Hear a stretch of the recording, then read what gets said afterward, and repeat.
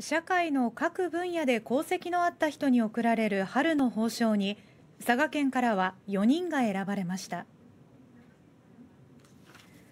県内在住の受賞者はその道一筋に励んだ人に贈られる王寿褒章が1人。公共の利益に貢献した蘭寿褒章が3人です。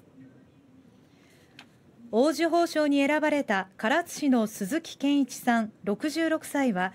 司法書士として32年にわたり登記の手続きや簡易裁判所での訴訟代理業務などに従事。また県司法書士会の会長を4年務め後進育成にも貢献していることが評価されました。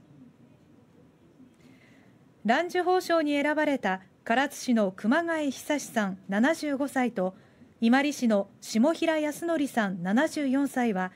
保護司としてそれぞれ20年以上にわたり犯罪や非行をした人と定期的に面接するなど更生保護の活動に尽力してきたことが評価されました。